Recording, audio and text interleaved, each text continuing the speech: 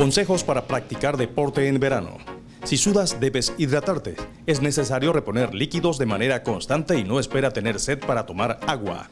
Evite sufrir golpe de calor. No haga ejercicios en las horas centrales que son al mediodía y 5 de la tarde. Preferible a primeras horas de la mañana o a últimas horas del día. Aconsejable llevar vestimenta y calzados ligeros, de colores claros y preferiblemente que faciliten la transpiración. Hay protectores resistentes al sudor y agua. Si se expone al sol, lleve gorra y gafas protectoras. La comida es la gasolina de nuestro cuerpo. Al sudar perdemos minerales. Incluya una dosis extra de frutas y verduras en su dieta, ya que son fuentes naturales de sales y líquidos. Este es un mensaje del Ministerio de Salud.